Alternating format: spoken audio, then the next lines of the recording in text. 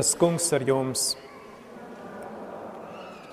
Lasījums no mūsu kunga Jēzus Kristus evaņģēlija, ko uzrakstījis Jānis 3. nodaļā.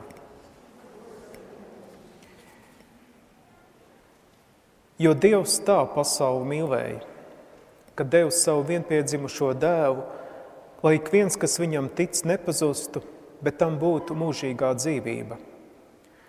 Jo Dievs sūtīja savu dēlu pasaulē, nevis lai tas pasauli tiesātu, bet vai pasaule caur viņu tiktu glābta. Kas tic viņam, tas netiek tiesāts, bet kas netic, tas jau ir notiesāts, jo tas nav ticējis Dieva vienpiedzimušā dēla vārdam. Tiesas spriedums ir tāds, ka gaisma ir nākus pasaulē, bet cilvēki bija iemīlējuši tumsu vairāk nekā gaismu, tādēļ, ka viņu darbi bija ļauni.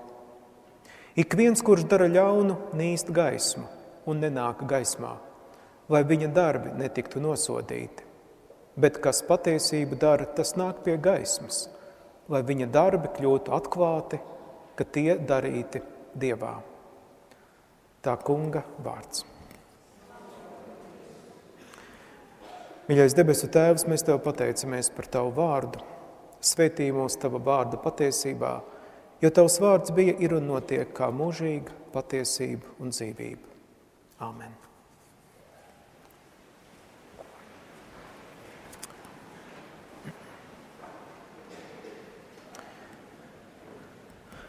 Kristus ciešanu laikā mēs koncentrējamies uz mūsu attiecībām ar Dievu un īpaši uz Jēzus dzīves, ciešanu, nāves un augšām celšanās nozīmi. Šis ir laiks, kad mēs nevis iegrimstam kādās no realitātes atrautās domās, vai nodarbojamies ar kādiem savu dievbijību paaugstinošiem treniņiem, bet gan divtik pievēršamies realitātei, jo arī Jēzus dzīvoja, cieta, mira un augšām cēlās realitātē, sava laika un sabiedrības problēmu, ļaunuma, tumsas, ieskauts un caurvīts. Jēzus bija realitātē, un mēs esam. Kristus ciešanu laiks ir laiks, kurā mēs nevis novēršamies no realitātes izaicinājumiem, bet uzņemam tos kā Dieva dotus, kā Dieva aicinājumus ar tiem sastapties un izskaidroties. Jēzus nemira tāpēc, ka viņš bija noslēpies kādā garīgo vingrinājuma centrā vai iegrimis kādās lūkšana praksēs, vai tāpēc, ka viņš distancējies no sabiedrības, pārdomāja kāds garīgs jautājums. Viņš mira, jo runāja, domāja, iesaistījās, neklusēja, neizvairījās, konfrontējās, nebaidījās, neaturējās un nenoslēpās. Ja viņš to visu nebūtu darījis, viņš dzīvotu līdz pat sirmam vecumam. Diemžēl tad visticamākais mēs par viņu neko nezinātu. Viņš būtu sācis kā Jēzus un būtu beidzis kā Jēzus, bet viņš sāka kā Jēzus un beidza kā Kristus. Un tas jau ir pavisam cits stāsts, kur atkal no jauna un savādāk pārdomāt esam aicināti gavēņu laikā. Atkal no jauna, tāpēc, ka Jēzus cieta un mira pasaulē un uz zemes, bet uz zemes Jēzus ciešanu stāsts ir ne tikai stāsts par viņu, bet par daudziem. Es to iztēlojos kā fraktāli, kurā atkal un atkal viens un tas pats musturs atkārtojās visās tā daļās. To sauc par fraktāli. Proti, Kristus ciešanu stāstu uzliekot cilvēku stāstiem, pieredzēm, mīlestības trūkumu un ciešanu pieredzēm, mēs redzam, ka tas, kas notika ar Kristu, notiek atkal un atkal, un mēs no jauna esam aicināti norādīt uz krustu, kurš mūs lūdz un prasa, lai Kristus upuris patiešām būtu pēdējais upuris. Tāpēc vienīgā jēgpilnā un attaisnojamā prioritāte gavēņa laikā, kuras priekšā būtu jāatkāpjas visām citām, visām citām runām, aktivitātēm un iniciatīvām, ir upuru apzināšanās mūsu vidū. Tas ir tas, kā kulminācija notiek lielās piekdienas dievkalpojumā. Vakarā, kad mēs nākam šeit pie krusta un, un rakstam tur virsū tos, kuri ir krustā sisti. Ja šī nostāšanās ar mūsu laikmeta upuriem, viņu stāstu uzklausīšanu, netiesājošu uzklausīšanu, šo stāstu nenoliekšana, nesamazināšana, upuru nevainošana, šo stāstu neatspēkošana. Jēzus ciešanu stāstu mēs mākam klausīties. Mēs tam pretī nerunājam. Mēs patiešām to godbijīgi klausāmies. Mēs tajā iedziļinamies. Mēs to neatspēkojam, mēs to nenoliedzam. Mēs nesakam, ka viņš pats vien bija vainīgs, vai ka Poncijam Pilātam bija tiesības tā rīkoties un Sinedrijam tā lemt, kā tas lēma. Mēs nesakam, ka Jēzum labāk vajadzēja tā vai šitā. Mēs nesakam, ka viņam jau patiesībā nemaz tā nesāpēja un beigu beigās viņš jau labprātīgi gāja uz Jeruzalemi. Mēs nesakām, ka viņam vajadzēja vairāk sadarboties ar sava laika teologiem, mācītājiem, garīgiem vadītājiem. Mēs nesakām, ka viņam vajadzēja vairāk visu skaidrot, stāstīt un izstāstīt. Mēs nesakām, ka Jēzum vajadzēja vairāk apzināties, ka viņu taču pārpratīs un nesapratīs, ka vairums nebūs viņa pusē. Mēs to visu nesakām, kaut gan varētu teikt, bet mēs tā vietā uzklausām šo stāstu mēs iedziļinamies šajā stāstā, mēs to ņemam ļoti nopietni. Mēs nemēģinām būt eksperti par to, kas tur notika, bet gan mēģinām būt eksperti šī stāsta dzirdēšanā, klausīšanā, sadzirdēšanā. Tādā veidā mēs mācāmies saredzēt Jēzu, piedzīvot Jēzu, apzināties Jēzu, uzticēties Jēzum, daudzos citos stāstos un pieredzēs šajā pasaulē. Mēs mācāmies tos visus ņemt nopietni. Ciešanu laikā mēs trenējamies ņemt nopietni un atpazīt daudzus citus ciešanu stāstus šajā pasaulē un nostāties nevis pret tiem, kas piedzīvo un izjūt netaisnību, uzbrukumu, vajāšanas, bet kopā ar viņiem. Tāpēc Jēzus ciešanu stāsts patiešām ir svēts stāsts, jo tas maina mūsu nostājas, mūsu lomas, mūsu perspektīvas, mūsu pozīcijas. Tāpēc jau šis stāsts arī ir Dieva vārds. Bet baznīca ir baznīca tikai tad, ja tā balstās Dieva vārdā. Par to runā jau senie luterisko apliecību raksti.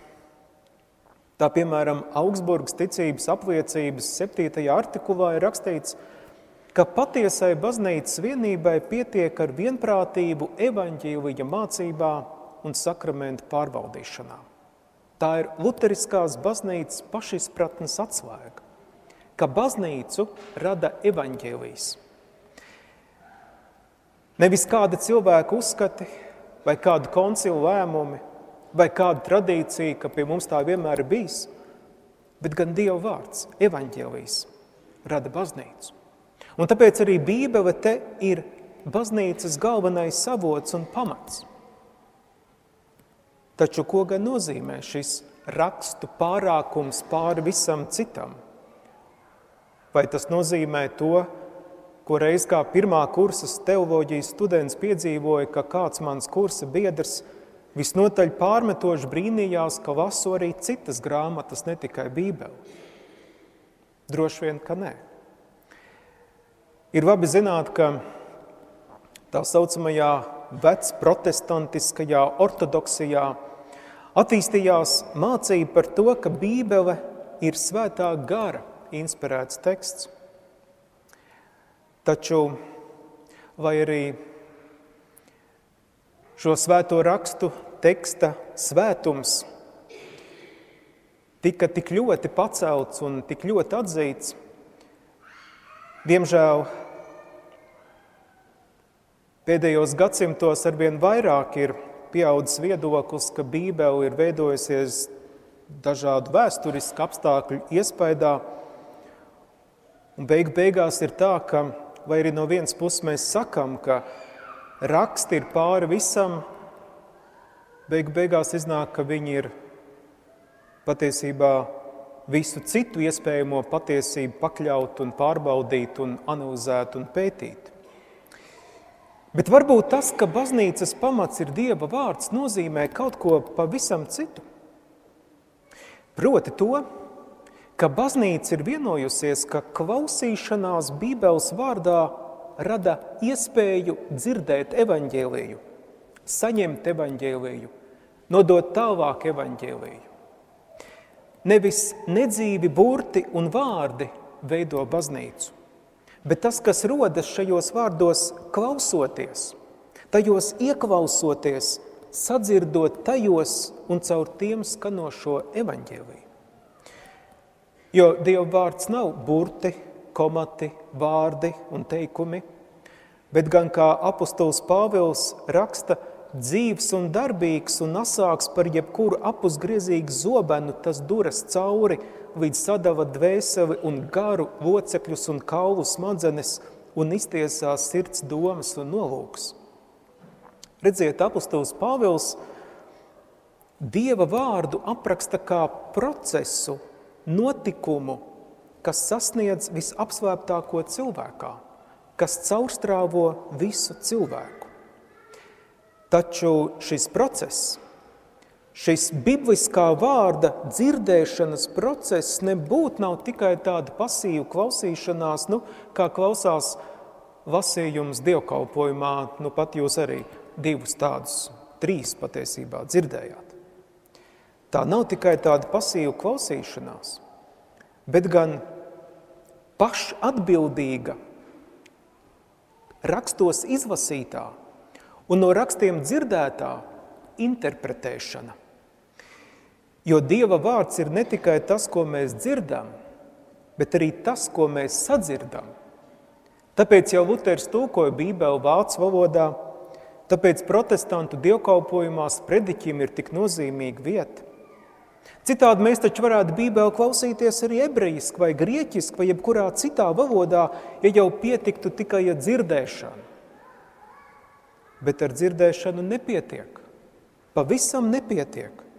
No tās pat nav nekādas lielas jēgas, ja nesako sadzirdēšana, saprašana, izprašana, interpretēšana. Pašatbildīga Bībeles interpretēšana ir patiešām tāda, kurā es pats par to atbildu. Tā atbildība novēršas līdz katram, katram cilvēkam. Katrs cilvēks ir tiesīgs interpretēt Bībeli un to saprast un sadzirdēt tajā to, ko viņš sadzird. Un ja katrs cilvēks, tad neviena interpretācija nav gavēja. Neviens nevar teikt, nu tā, šī bībeles vieta tagad nu, ir pavisam saprasta. Nu, nekādas citas vairs interpretācijas nav nepieciešamas. Nu, nekāds cits arī nekvalificējās, jo nu, es esmu šo vietu tagad nointerpretējis līdz galam. Viss. Pašatbildīga interpretācija nozīmē, ka nevienam nav varas pār Bībeles nozīmi. Nevienam. Nekādam pāvestam vai koncilam, vai kādam teologam, vai kādam mācītājam, vai kādam Facebookā komentētājam. Protams, neapšaubāmi, ja Bībeli var skaidrot katrs cilvēks pašatbildīgi, tad tas var radīt kādas nevienprātības, domstarpības, varbūt pat šķelšanos. Ja kādi, kas Bībeli interpretē vienā veidā, nav spējīgi būt kopā ar tiem, kas to interpretē citādi, jo redziet, tas process nebeidzās. Katrs skaidrojums izsauc jaunu skaidrojumu. Tas, kas šķietam ir skaidrs vienā gadsimtā, kļūst pavisam neskaidrs nākamajā, un tas, kas ir pilnīgi skaidrs vienam, nav skaidrs citam. Jo tas ir process, kas nebeidzas, jo Dieva vārds ir dzīves, nevis beigts organisms. Jo redzēt, tikai beigtos var izpreparēt, izanalizēt, uztaisīt tiem galīgo sekciju un āmeni baznīcā. Ar dzīvo to nevar, jo viņš ir dzīves un katrā nākamā mirklī nedaudz citādāk dzīves kā iepriekšējā. Un Dieva vārds ir dzīves. Tāpēc baznīca balstās nevis kādā interpretācijā par Dievu vārdu, ko atzinus par vislabāko, bet pašā Dieva vārdā. Baznīca balstās daudzu un dažādu interpretāciju cieņpilnā sarunā. Dieva vārds ir tāda saruna, tas ir tāds dialogs, tāda cieņpilna saruna Dievam ar cilvēku, cilvēkam ar Dievu, cilvēkam ar cilvēku. Dieva gars kā vējš pūš, kur gribēdams, un mēs neviens nezinām, kur viņš pūtīs pēc mirkļa. Tāpēc Dieva vārds jau ir dzīves un darbīgs, jo tas ir Dieva gara inspirēts process. Viens saka tā, cits saka tā, un tas viss var būt kopā šajā procesā, kuru uztur nevis vārdi un burti, bet mīlestība, proti attieksme cilvēkiem vienam pret otru. Un redziet, tā patiešām ir, ka ja mana attieksme pret otru būs pozitīva, mīloša, Ja šis cilvēks man būs simpātisks, es vienmēr meklēšu un atradīšu viņā labo, skaisto, vērtīgo. Es viņam vienmēr meklēšu, kā pasniegt roku, kā atbalstīt, kā izpalīdzēt. Bet, ja man attieksme būs negatīva, ja šis cilvēks man liksies pretīgs, nepatīkams, neusticams, tad vai ko viņš teikt vai darīt, es visā meklēšu un arī atradīšu nepareizo, aplamo, slikto, Un, ja vēl gadīsies izdevīgs mirklis, lai viņam pielikt kāju priekšā, tad varbūt pat to izdarīšu. Bet te nav runa pat par kādiem cilvēkiem, kuri patiešām var mums patikt vai nepatikt, bet par pašu mūsu pamatskatījumu uz realitāti. Un tad man nāk prātā kāds sens 13. gadsimta teologs, Džons Dans Skots, kurš jau to laiku ļoti sen veistīja kādu, manuprāt, šim laikam tik ļoti svarīgu atziņu. Jo viņš teica tā, ka Kristus iemiesošanās Jēzū, tas, ka Dievs sūta savu dēlu, ir Dieva plāns jau no paša sākuma. Skots bija pārliecināts, ka Kristus nākšana pasaulē, Dieva iemiesošanās cilvēkā nebija kāda rezerves iespēja gadījumam, ja Dieva radītā pasaule kristu grēkā. Kristus nākšana, viņš teica, nav grēka rezultātā tapis projekts. Nu, varbūt to projektu viņš neminēja, to es. Citiem vārdiem, šis teologs noraidīja to domu, ka Kristus ir nācis tikai tāpēc, lai labotu grēkā krišanas sekas. Viņš uzskatīja, ka Dieva mīlestība neierobežo nekas, pat ne grēks. Dievam nav vajadzīgs nekas, lai viņš cilvēku mīlētu, lai ar viņu izlīgtu, lai viņam piedotu. Un tāpēc Džons Dans Skots domāja, ka Kristus nākšana jau no iesākuma bija Dieva nodoms. Vēl pirms cilvēku un visas esības rašanās, vēl pirms grēkā krišanas. Dieva nodoms. Jo Dievs lūk lūkojās uz cilvēku ļoti pozitīvi, ar absolūtu labvēlību.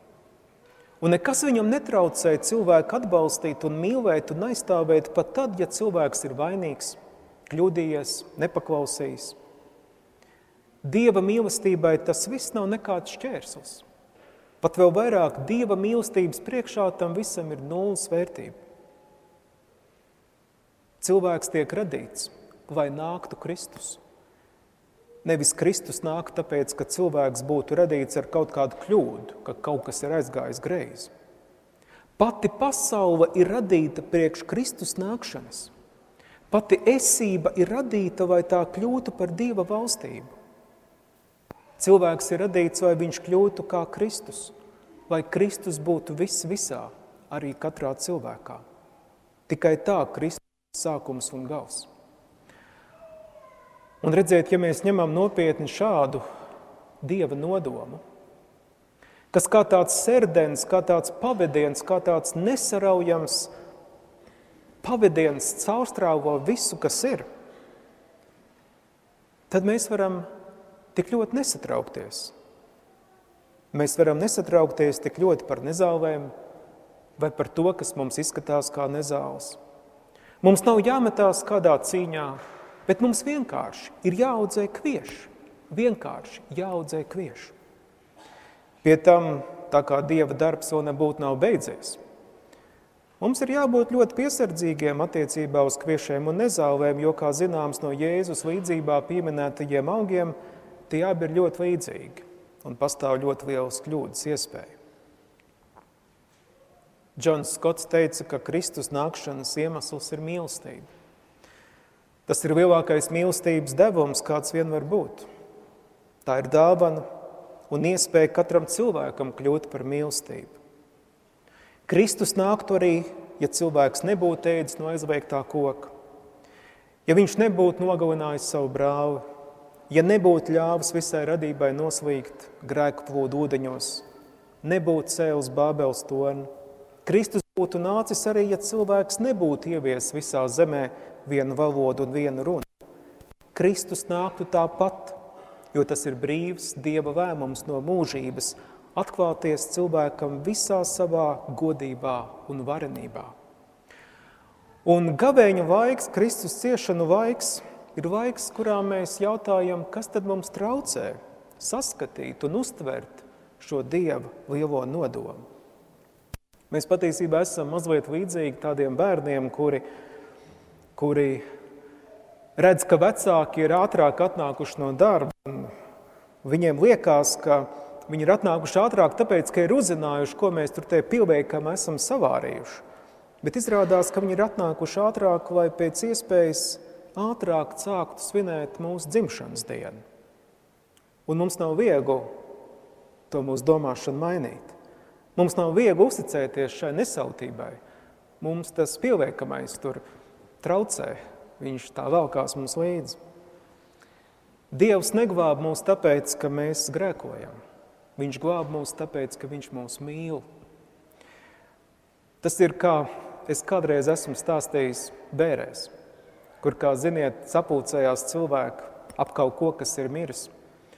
Un, protams, tā pirmā doma, un tas, kas ir visiem prātā, ka mēs šeit esam sapulcējušies tāpēc, ka kāds ir miris, ka tā nāve mūs ir sapulcējusi te kopā. Bet patiesībā ir pavisam otrādi. Tie cilvēki tur kopā stāv tāpēc, ka viņas ir sapulcējusi kopā mīlestību pret šo cilvēku. Mīlestība ir tā, kas ir likusi nākt un iet un ziemas augstumā tur stāvēt. Tas cilvēks pats, viņa klātbūtne, viņa dzīve ir sapulcējusi mūs kopā. Kristus nākšana notiek tagad. Tas ir nevis kaut kas, uz ko mēs ceram, vai kas ir bijis kaut kad pagātnē, bet tas notiek tagad. Jēzus nāk ne tāpēc, lai mainītu dieva domas par mums, jo tās dieva domas ir bijušas tādas vienmēr. Tās nav nepieciešams mainīt. Labestības, mīlestības, pieņemšanas pilns jau no sākuma. Viņš nāk, lai mainītu mūsu domas par Dievu un par cilvēkiem. Un mēs varam atveramies šai nākšanai, šai Dieva vienpiedzimušā dēla ienākšanai, dzimšanai mūsos, šai dievišķajai dzīvē mūsos, vai arī ir kaut kas, kam, kas mūsos tam traucē un kavē. Kristus ciešanu stāsts ir nevis stāsts par veciem laikiem, bet tas ir stāsts, kas notiek tagad. Mēs to mācāmies izlasīt, mēs to mācāmies saskatīt sev līdzās. Un ja tā, tad tas nozīmē, ka šis stāsts vēl nebūtu nav beidzies. Ja tā, tad nekas vēl nav akmenī kauts. Ja tā, tad viss var būt vēl citādāk. Jēzum bija jāmirst tāpēc, ka cilvēki nespēja viņā izlasīt Dieva klātbūtni. Tomēr Dievs to pasauli tik ļoti mīl, ka viņš sūta savu dēlu arī, ja cilvēki mīl tums vairāk kā gaismu un nekas nespēja atcelt iemiesošanos, Kristus dzimšanu, augšām celšanos. To nekas nespēja atcelt, mainīt vai aizskavēt, pat ne tumsa, pat ne nāve. Jāņa evaņģēlijā mēs dzirdējām, ka tika sacīts, ka ik viens, kas viņam tic, ik viens, kas tic. Un tad es domāju, ko tad nozīmē ticēt? Kādreiz mums šķiet, ka ticība ir tāds kā apgalvojums saraksts, kam ticīgais cilvēks tic. Bet ticība nav sinonīms vārdam zināt. Ticība ir dziļa uzticēšanās. Kristietībā ir tāds jēdziens kā ortodoksija, pareiza mācība, kā tāds serdens un kodols, kas definē to, kas vispār kristīgā ticība ir. Taču mums ir vienmēr jāatcerās, ka jebkura pareiza kristīga mācība nav tapusi kabinetu dziļumos, bet īstā dzīves pieredzē. Un tas tiešām ir pārdomu vērts fakts, ka kristīgā ticība daudzus savus pirmos gadsimtus iztika gan bez noformulētas pareizas mācības, gan bez līdz galam noformulētām un apstiprinātām ticības apliecībām, gan bez vienos vākos un kanonā ieliktiem bībeles tekstiem – Tas viss izveidojās tikai vēlāk, dažādu iemeslu dēļ. Bet, jūs saprotiet, sākumā pirmos trīs, četrus, piecus gadsimtus tā visa vēl nebija, un tikai tā es to varu izskaidrot, ka tad laikam Jēzus impulss bija tik ļoti spēcīgs, ka cilvēkos bija šī iekšējā izjūta par to, kas ir īsts, kas ir autentisks, kas ir patiess. Un varbūt arī tāpēc, ka Jēzus impulss bija tik grandios, ka tas nepadevās tūlītējai iegrāmatošanai vai noformulēšanai. Es to saku nevis tāpēc, lai mestu ēnu kādu uz mūsu ticībai svarīgiem formulējumiem, bet lai norādītu, ka pirms šiem formulējumiem bija pieredze, tos radīja šī pieredze, šī ortoprakse. Pirms ortodoksējas bija ortoprakse.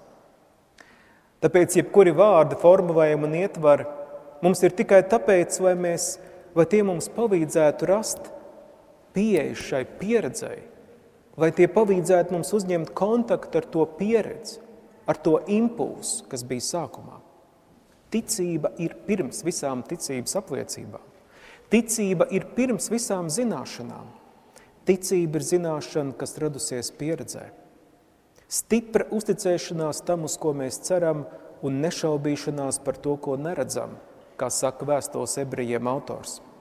Ticība ir tā iekšējā izjūta un pieredze, kura neļaujas pierādījumiem vai demonstrēšanai.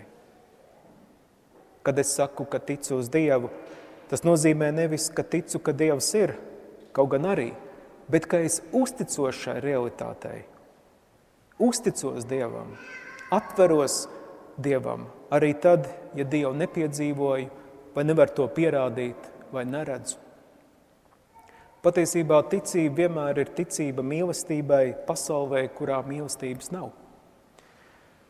Bet to, kas pasaulē joprojām ir tik ļoti maz, es redzu pārpilnu Jēzu. Es redzu to pārpilnu Dievā. Es redzu mīlestības pilnus Dieva darbus, kas ir nevis skaisti vārdi, bet gan kaut kas patiesa un īsts. Tāpēc gavēņa laiks ir nevis vai runātu skaistus vārdus par Jēzu, bet darītu Jēzus darbus darīt to, ko Dievs dara. Ticēt Dievam ir darīt Jēzus darbus, ne vairāk, ne mazāk. Jēzus nerunāja skaistus vārdus par Dievu, bet viņš atvēra saviem līdzcilvēkiem acis uz situācijām, stāvokļiem, attiecībām, sistēmām, kurās trūka Dieva. Jēzus atklāja mīlestības trūkumu šajā pasaulē, kurā mēs domājam, ka ar to viss ir kārtībā. Jēzus mira šī dieva trūkuma dēļ, un viņš piepildīja šo trūkumu ar sevi. Visur tur, kur viņš piedzīvoja šo trūkumu, viņš nenovērsās, neaizgāja garām, neteica, ka varbūt pienāks vēlāk pēc vildienām, bet gan darīja visu iespējamo un neiespējamo, atļauto un neatļauto, pieņemamo un nepieņemamo, lai mainītu, pārvērstu, dziedinātu, atjaunotu, vai vismaz kaut ko, kaut vai vienu situāciju, kaut vienas attiecības, kaut vienu ierastību darītu tuvāku Dievu valstībai. Un, manuprāt, šāda rīcība arī ir vienīgi jēgpilnā, kas attaisno to, ka mums ir tāds gavēņa laiks. Āmen!